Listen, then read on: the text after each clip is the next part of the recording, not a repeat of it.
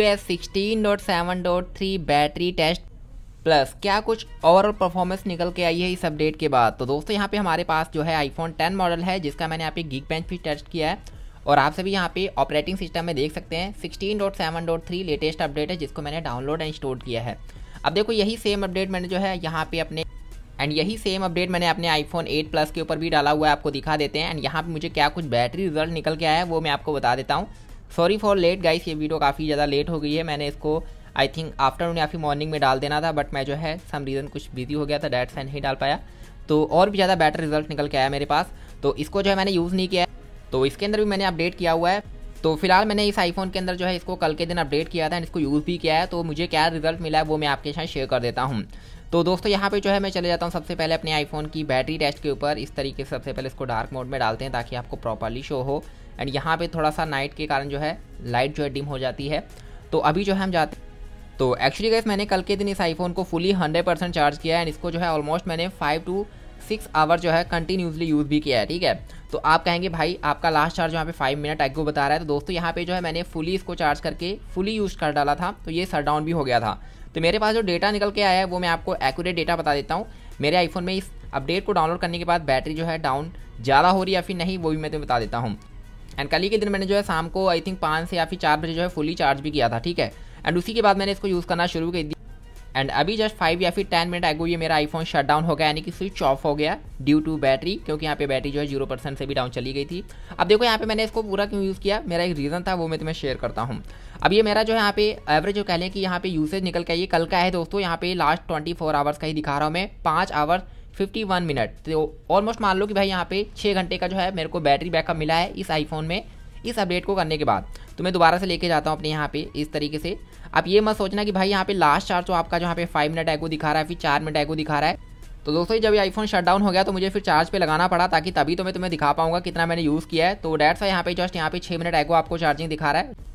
जो कि मैंने इसे जस्ट ट्वेंटी परसेंट चार्ज किया था ताकि मैं आपको रिव्यू दिखा पाऊँ। तो इसकी जो मेरे को एवरेज कहने की यहाँ पे जो यूसेज निकल के आई है, वो है कि मेरे को फाइव आवर्स का अच्छा खासा बैकअप मिला है इस अपडेट के बाद।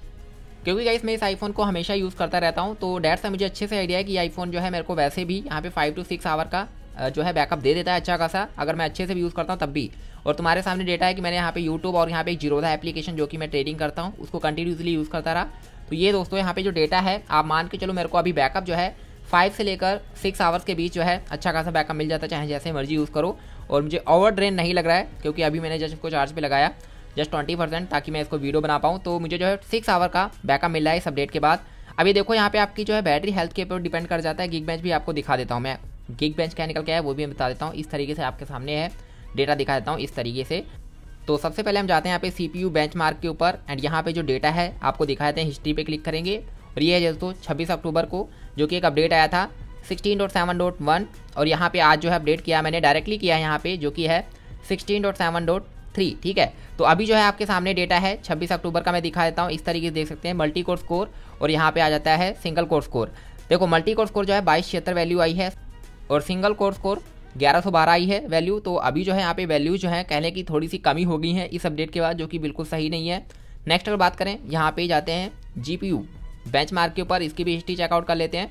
तो यहाँ पे तेरह दिसंबर है, छब्बीस अक्टूबर तो यहाँ पे आप सभी के सामने है डेटा है इकाट ज़ीरो फाइव एंड यहाँ पे जाते हैं आज के टाइम तो ये जो दोस्तों, यहाँ पे मैं कहूँगा, इस अपडेट के बाद जो है बेंच मार्क वैल्यूज़ हैं डाउन हो गई हैं। कहा जाता है कि अगर यार बेंच मार्क वैल्यू जो है पहले अपडेट से अब जो है ज़्यादा अच्छी आती हैं वैल्यूज़ बढ़कर आनी चाहिए। जैसे पहले सौ आई थी तो अब दो सौ होनी चाहिए। तो कहा जाता है कि इसकी ओवर परफॉर्मेंस बढ़िया की जाती है बट यहाँ पे वैल्यू जो है डाउन हो गई हैं।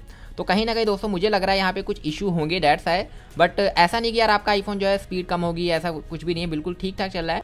बट इस अपडेट के बाद मुझे कोई भी ग्लिची सा भी बग्स तो देखने को नहीं मिले। ठीक ठाक चल रहा है आईफोन और बैटरी भी इतनी ज़्यादा डाउन नहीं हो रही जितनी मैंने सोची थी। तो मुझे जो थोड़ा सा फ़र्क लग रहा है कि यार ज़्यादा बैटरी डाउन हो गई है, थोड़ी सी। अब ऐसा नहीं कि भाई पंद्रह से बीस परसेंट का फ़र्क आ गया, नहीं। पाँच से छः परसेंट का फ़र्क दिख रहा है मुझे।